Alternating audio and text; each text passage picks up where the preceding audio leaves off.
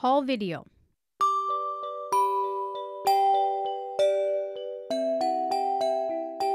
Hi everyone, it's Daisy. I went shopping at Oak Tree Mall this morning. Now, I'm going to show you what I bought.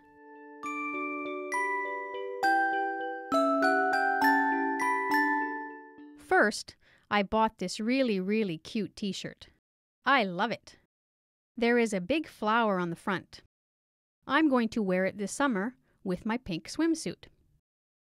I also bought these cute yellow and pink sandals. I'm going to wear these with my swimsuit too. Finally, I bought two bottles of nail polish. I bought pink and coral. They're great summer colors. Okay, that's it. Thanks for watching. Leave your comments below. I love you. Bye bye.